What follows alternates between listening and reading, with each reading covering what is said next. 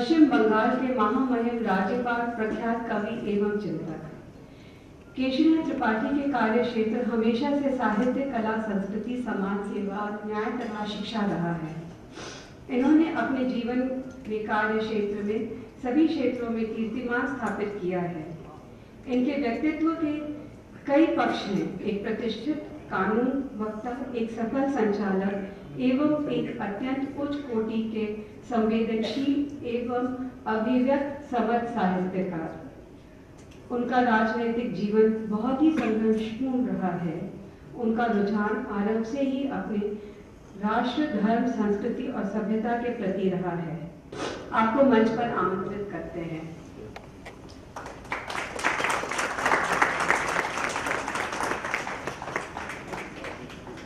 जी आइए अरुण जी, आपसे अनुग्रह है कि आप बातचीत शुरू करें। धन्यवाद।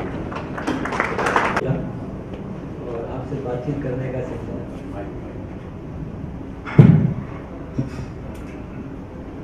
बहुत शुक्रिया कि पाठी जी से आज ऐसा अवसर मिला कि सार्वजनिक रूप से मुझे लगता है कि कुछ ऐसे प्रश्न हम आपसे जानकारी ले, जिसमें कि हम आपके बारे में, आपके कृतित्व के बारे में और जो आपने रचा है, उस पर हम कुछ बातचीत करें। तो मेरा पहला सवाल ये करता हूँ कि आप माननीय राज्यपाल हैं, विधानसभा अध्यक्ष रहे हैं, लेकिन हमारा मानना है कि आपकी आत्मा कविता में बसती है। आप राजनीति और कविता के संबंधों को कैसे देखते हैं? राजनीति और कविता में सामंजस्य कैसे बिठाते हैं? कुछ पढ़ते हैं, कुछ सुनते हैं। तो मन के अंदर चिंतन की प्रक्रिया प्रारंभ हो जाती है।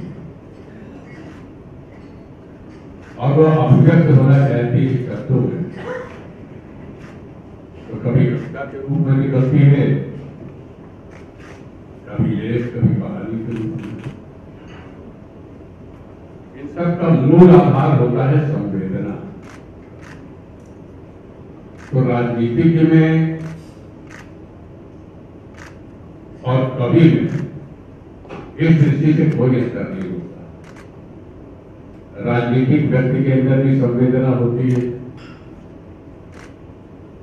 लोगों का दुख दर्द देखता है, उसे बांटने की कोशिश होती है। धुआँ कहीं का भी हो चिता का या चूल्हे का जलन की पीड़ा और मन के अंदर तो भावना दूसरी की संवेदना, दूसरी की प्रतिक्रिया, दूसरी की अगर चिता जल रही होगी लेकिन कविता वही से जन्म ले लेती है। कि धुआँ कहीं का भी हो चिता का या चूल्हे का जलन की पीड़ा है पर भूख की आग अब यहाँ राजनीति को बोल रहा है पर भूख की आग पेट को जलाती है धो नहीं कराती। पर भूख की आग पेट को जलाती है धो नहीं कराती। तो एक प्रकार से राजनीतिक और कवि के स्वभाव में कोई विरोधाभास नहीं होगा। केवल अभिव्यक्त भावनाओं की किस प्रकार से करता है, मुख्य बात यह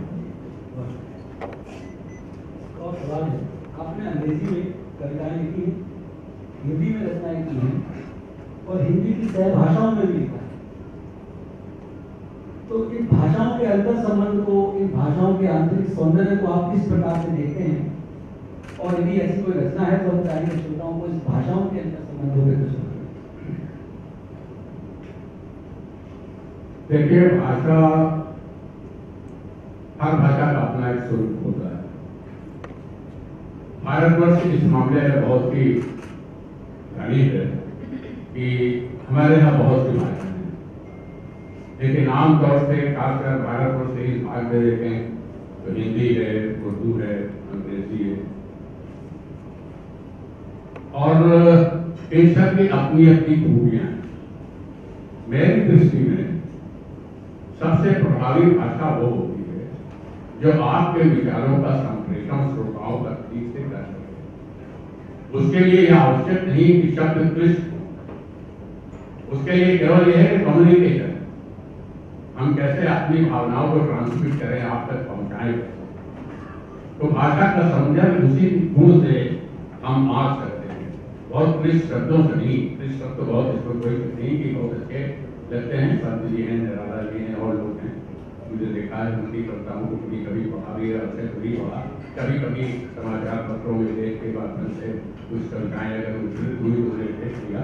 तो उसका सौंदर्य दूसरा होता है, सौंदर्य होता है अभिव्यक्ति अगर आपने प्रभावी अभिव्यक्त कर दी तो वही भाषा का सौंदर्य है और वही संप्रेषण का सौंदर्य मैंने जैसे उर्दू की बोलचाल की भाषा में लिखा अपने आप बस खत बहुत से लिखे खत बहुत से लिखे पर जवाब न आया। एक दिन भी न बचा कि तेरा ख्वाब न आया। तूने तो मेरे जख्मों को देखा ही नहीं। एक भी न बचा जिस पर शबाब न। अब ये अनुष्ठा हमने जो अभिव्यक्ति की है, बहुत साधारण शब्द रोज़मर्रा की बोलचाल में है। लेकिन शब्द कैसा प्रभाव छोड़ते हैं यही उसके संदर्भ का प्रभाव है। बिल्कुल अभी जैसे अभी ये चुनावी की और आपका दोहा सगरे आया है। तो क्या उसमें से कुछ दोहे? आपको मैं बताएँ। जीवन में बहुत है। दुख जीवन में बहुत है। कुछ है अपरंपार बिना कर्म के हो नहीं। उससे बेड़ा पार बिना कर्म के हो नहीं उससे बेड़ा पार और दुख तो खुद की देन है दुख तो खुद की देन है नहीं ईश की देन विमुक्त धर्म से जो रहे दुख उसकी ही देन आपने अनेक देशों में कवियों के प्रतिनिधि मंडल का प्रतिनिधित्व किया है। देश और विदेशों में कविता प्रेमियों में आपको क्या फ़र्क महसूस होता है? और हिंदी भाषा का क्या भविष्य आपको देश और विदेश में नज़र आता है? इस पर ये सही है कि मैंने अब तक लगभग तीस देशों की यात्रा की है। कविता के कुछ कविता के संबंध में कुछ राजनीति के संबंध में। लेकिन एक चीज़ मुझे स्पष्ट नज़र है कि विदेश में जो हिंदी भाषी लोग हैं हिंदी को राष्ट्रीय पहचान से जुड़े हुए ये राष्ट्रीय स्वाभिमान की भाषा धीरे धीरे विदेशों होती जा रही है। और अब, जब दुनिया छोटी होती जा रही है, उद्योग और व्यवसाय के क्षेत्र में अब कोई देश किसी दूसरे देश से अछूता नहीं है। तो वहाँ भारत ऐसे बड़े देश में उद्योग और व्यापार की जो स्थिति है, उसे देखकर हम ये कह सकते हैं कि हिंदी का साहित्यिक महत्व जो है और साहित्यिक विस्तार जो है वो तो है, लेकिन उद्योग और व्यापार के क्षेत्र में भी विश्व स्तरीय हिंदी भाषा का विस्तार अब होने की संभावना बढ़ रही है, क्योंकि विदेश में हमारे भारतीय युवक भारतीय परिवार बहुत एक प्रश्न जो कभी कभी चिंता हृदय के अंदर उत्पन्न करता है, मैं अभी कुछ वर्ष पहले हमारे बीच में नहीं है, इसी साल उनका निधन हो गया। गुलाब खंडेलवाल जी के नियंत्रण पर गया था, मैं अमेरिका गया था। तो है गोष्ठी रखी थी उस गोष्ठी का विषय था हिंदी भाषा और हमारी चौथी पीढ़ी। अब ये बड़ा चिंता जनक विषय था, क्योंकि उनका एक कहना था और वहाँ के वक्ताओं का कहना था कि हमारी जो तीसरी चौथी पीढ़ी अमेरिका में हो रही है, उसे भारत से लगाव समाप्त होता जा रहा है। हम उस लगाव कैसे जोड़ें, कैसे उसको अपने मूल देश में जोड़ें ये हमारे लोगों के अंदर बहुत गंभीर प्रश्न उत्पन्न हो गया है, क्योंकि अब वो वहाँ की संस्कृति को अपना रहे हैं, भारत की संस्कृति को भूल रहे हैं तो उस पर घोषित और इसका तत्व निकला कि हिंदी भाषा उस ब्रिज का कार्य कर सकती है। भारत को अमेरिका ऐसे देशों से जोड़ने का काम सकती है, और अगर वो हिंदी भाषा पढ़े तो निश्चित रूप से भारत की धरती से उनके अंदर लगाव होगा। तो अब धीरे धीरे हिंदी का जो विस्तार हो रहा है और देश का जो राजनीतिक महत्व दूसरे देशों में बढ़ रहा है तो उसे लग रहा है कि हिंदी का भविष्य वास्तव में बहुत उज्जवल है। हिंदी अब एक अंतर्राष्ट्रीय भाषा तो हो ही गई इसमें कोई शक्ति विश्व की दूसरी, तीसरी भाषा में दी जाती है। तो इसकी उपेक्षा कोई नहीं कर सकता। मैं समझता हूँ हिंदी का भविष्य बहुत उज्जवल है। आपकी कविताओं में बीसी शताब्दियों में विपक्ष मौजूद है, वही भविष्य की शताब्दियों की लय भी मौजूद है। गाँव से लेकर गुण अध्यात्म भी मौजूद है। ऐसा कहा जाता है, सर, कि हर कवि की प्रेरणा का स्रोत स्रोत स्त्री ही होती है। हालाँकि प्रकृति का भी इसमें एक योगदान होता है, प्रकृति का भी बड़ा हाथ माना जाता है। आपका इस संबंध में क्या ख्याल है? देखिए जहाँ तक अतीत की बात है, अतीत तो इतिहास होता है। और इतिहास से हमें बहुत कुछ मिलता है। इतिहास हमारे भविष्य का मार्ग है और इसलिए कि कल की रचनाओं में अगर कहीं अतीत की किसी घटना का उल्लेख आता है, या कुछ वर्णन आता है तो निश्चित रूप से इसका मतलब कि कभी आगे भी सोच रहा है और पिछले को अपना आदर्श मान करके और उदाहरण मान करके कुछ पंक्तियाँ सुधारने की कोशिश करता है। तो अतीत और भविष्य का संबंध तो कभी निर्धारित कर देता है, ये कविता के विषय पर होता है। जहाँ तक आपने दूसरी बात कही। तो प्रेरणा कुछ बताएँ। समाज में नारी तत्व की आप उपेक्षा नहीं कर सकते। और मैं अभी अपना रोग भी संबंध कर रहा हूँ, मैं आपको नारी के ऊपर चर्चा सुनाऊँगा एकदम उसका विभिन्न एक दूसरा रूप आप देखते तो नारी तत्व सदैव ही पुरुष के मन को प्रभावित करता है। वो चाहे पत्नी हो, चाहे प्रेमिका हो, चाहे कुछ हो, लेकिन मेरे साथ कुछ ऐसा हुआ नहीं। तो मैं कभी कभी करता कहता कि दो चार पंक्तियाँ जब मैं लिखूं तो अपनी पत्नी को सुना देता तो कभी कहते यार क्या है इसमें कुछ नहीं है। फिर कभी कहते थी कि हाँ बहुत अच्छी है जिस कविता वो कहती थी कि, अच्छी है तो फिर और आगे लिखने का मन होता है। तो नारी सदैव पुरुष के लिए प्रेरणा थी। लेकिन आज का जब नारी का वर्णन होता है, हम कभी कभी मैगजीन्स में समाचार पत्रों से दूसरा ज़्यादा चित्रित किया जाता है, लेकिन उसके अंदर जो गुण है, उनके गुणों की चर्चा नहीं होती। तो मुझे एक दिन बड़ी तकलीफ़ हुई, नारी दिवस से मुझे बुलाया गया था लखनऊ में कार्यक्रम में। तो मैं सोच रहा था कि नारी की केश विन्यास, नारी के वेशभूषा, नारी के आभूषण, सब उसकी चर्चा करते हैं, लेकिन जो प्राकृतिक आभूषण है नारी उसकी चर्चा क्यों नहीं करते? तो मैंने छोटी सी तो नहीं है, लेकिन हाँ एक कविता लिखी और हर सवाल नारी से ही, उसी से क्यों अपेक्षा की जाती है, दूसरों से क्यों अपेक्षा नहीं की जाती? तो मैंने वो रखा और आज मैं सुनाऊँगा बस इसमें भी कोई दिक्कत नहीं कि हमारे लिए केवल पे आप जब इस कविता पूछेंगे तो आप देखेंगे कि कहाँ से कहाँ हमको ये आ गई ये कविता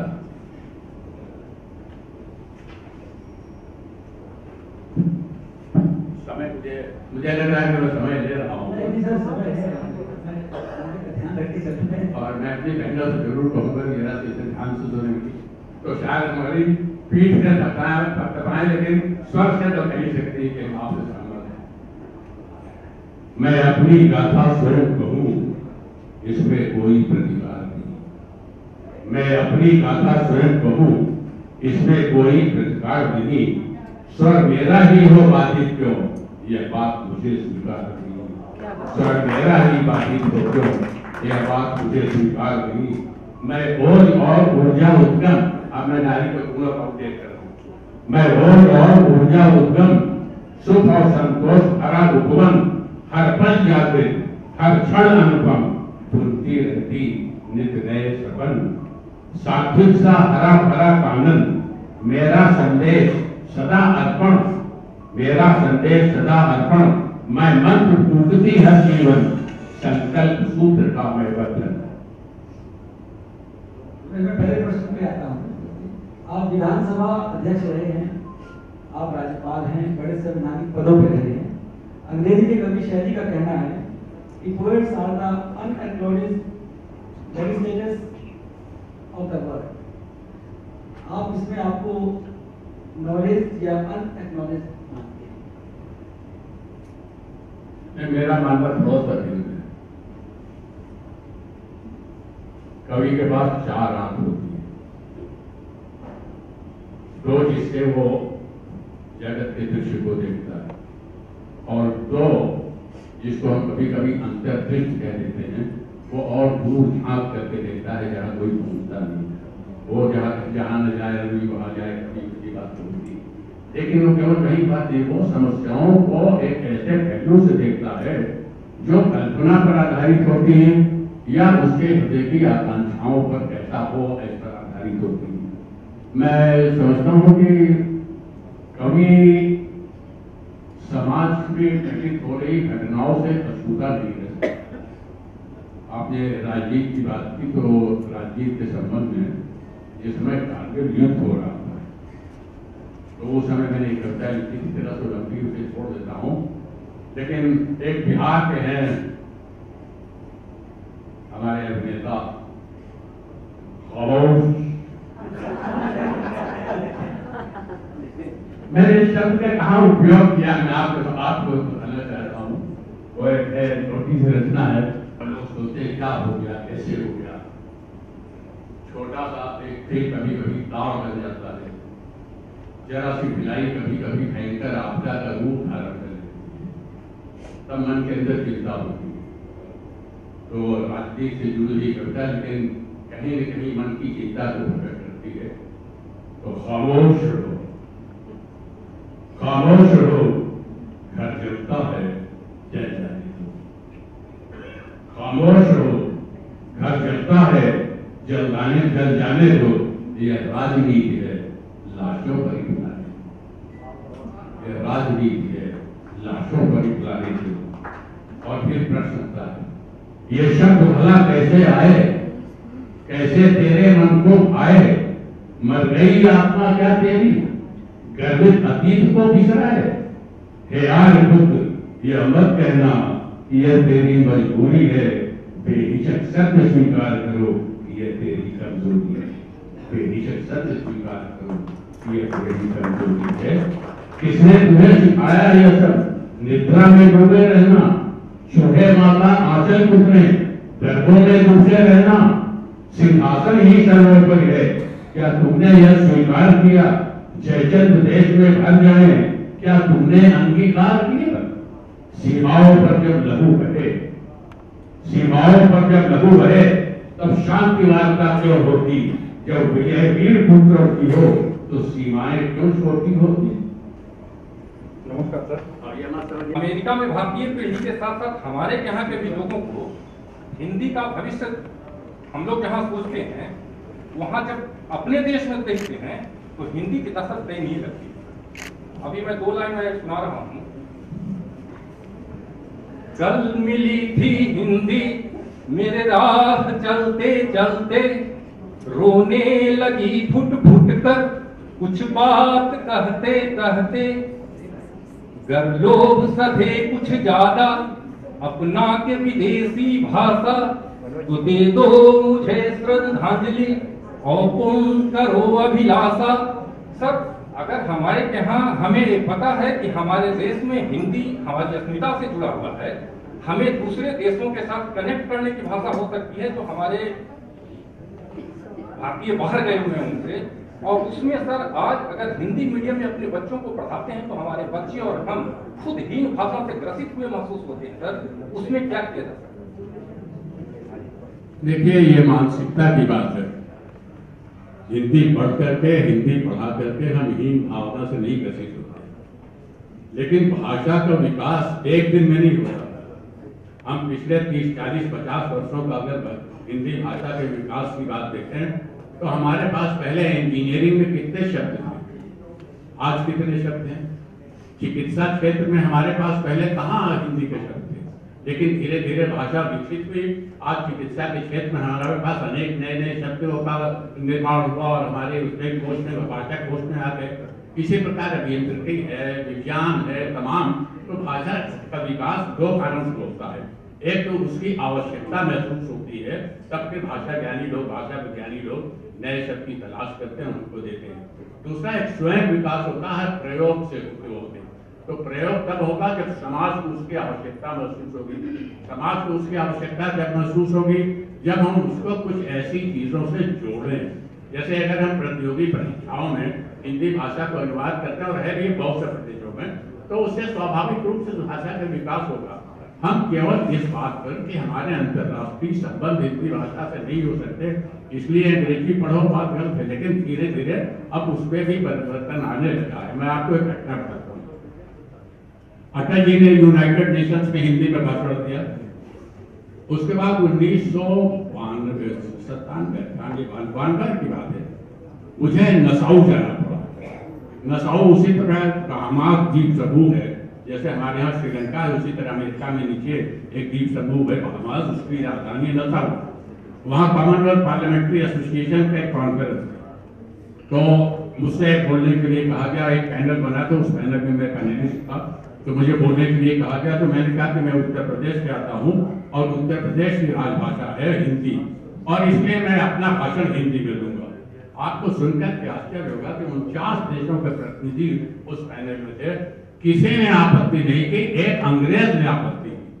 और अंग्रेज़ ने कहा कि मैं हिंदुस्तान में रह चुका हूँ, मुझे पंजाबी आती है, मुझे यह भाषा मराठी आती है। लेकिन इसका मतलब ये नहीं कि यहाँ अंग्रेज़ी में ना बोलेंगे तो अंग्रेज़ी में बोलूँगा। और मुझे एतराज़ है अगर आप हिंदी में बोलेंगे। तो मैंने कहा कि ऐसा है, मिस्टर उनका नाम लिखेगा मैंने कहा, मिस्टर, ऐसा है। मैं स्वागत करता हूँ। अगर आपको हिंदी आती है मराठी आती है, पंजाबी आती है तो आप पंजाबी में बोलिए। और हमारे इतने जो श्रोता बैठे हैं, मैं उसका अंग्रेज़ी में ट्रांसलेशन करके मैं उनको सुना दूँगा आपके भाषण को। लेकिन मैं हिंदी में किसी ने ऐतराज नहीं किया, सबने सुना। मैंने अपने भाषण का हिंदी में हिंदी में भाषण दिया और फिर मैंने उसको अंग्रेज़ी में ट्रांसलेट करके भी सुनाया। परिणाम क्या हुआ? सब तो सुन लिए। उसके बाद अगले साल से एक सर्कुलर आ गया, एक पत्र। कि floor language of the conference shall be English only मैंने उस समय हमारे शिवराज पाटिल जी महोदय लोकसभा के स्पीकर थे। मैंने कहा कि आप हमारे यहाँ से अनुवादक दे इंटरप्रेटर भेज दीजिए हमारे लोग हिंदी में भाषण करें, वो अंग्रेज़ी में उसको इंटरप्रेट करते, कोई दिक्कत नहीं होगी। उल्टा हो गया। फिर भी हमने अपना टर्न चालू रखा। जितनी मैं कॉमनवेल्थ पार्लियामेंट एसोसिएशन की कॉन्फ्रेंस मैं ऑस्ट्रेलिया गया न्यूजीलैंड गया, कहीं मैंने कहा, मैं हिंदी में बोलूँगा ज़रूर। तो हिंदी में बोलने लगे तो धीरे धीरे हमारे भारत वर्ष के जो तीस और विधानसभा के अध्यक्ष थे, उन्होंने भी अपनी बात में थोड़ा थोड़ा सा हिंदी कहना शुरू किया। अपने अंदर संकल्प शक्ति होनी लक्ष्य स्पष्ट हो और संकल्प शक्ति हो तो निश्चित रूप से हम अपने लक्ष्य को प्राप्त करें हिंदी की विकास यात्रा को आप देखें तो तीस पैंतीस साल के अंदर हिंदी बहुत आगे बढ़ेगी इसमें कोई संदेह नहीं। सर, अभी आपने शाम पे बहुत अच्छी कविता सुनाई। मैं ये जानना चाहता हूँ कि साहित्य का शाम से कुछ खास लगाव है, कुछ खास रिश्ता क्योंकि शाम पे बहुत सारी नज्में लिखी गई हैं, बहुत सारे गजलें लिखी गई हैं, बहुत सारी कविताएँ। तो शाम का वक्त क्या कुछ खास दर्शनात्मक वक्त होता है साहित्यकारों के लिए? और साहित्य का और शाम का क्या संबंध? शाम में बड़ी ऊर्जा होती है। और दिन भर की थकान दूर करने के लिए शाम से अच्छा कोई समय नहीं है। संध्या काल में बहुत ऊर्जा बचती है। दिन में हम थके हैं आकर के बैठ गए घर में। एक अध्याय की दृष्टि में हुई फिर उसके बाद थोड़ा सा मन जब शांत हुआ तो इधर उधर टहलने लगता है मन। मन की यह टहलन जब शब्दों से खिलवाड़ करती है तो रचना जन्म ले लेती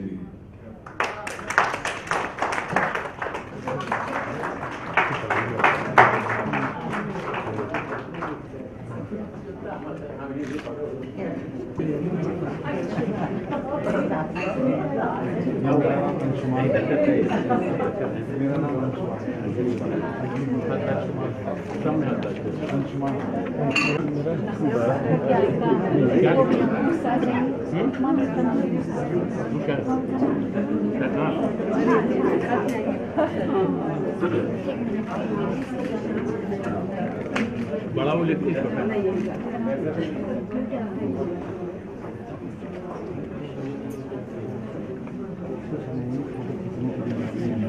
सर आप बैठ जाइए खड़े खड़े तो थकी